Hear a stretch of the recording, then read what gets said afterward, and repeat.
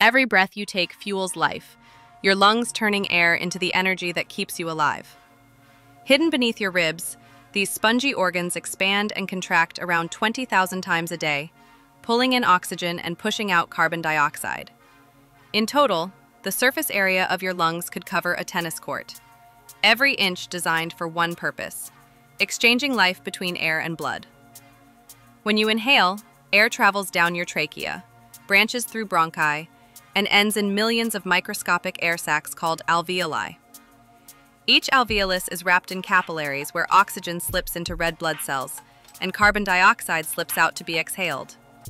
It's a silent partnership with your heart. Lungs oxygenate the blood, the heart delivers it to every cell. Lungs are self cleaning marvels.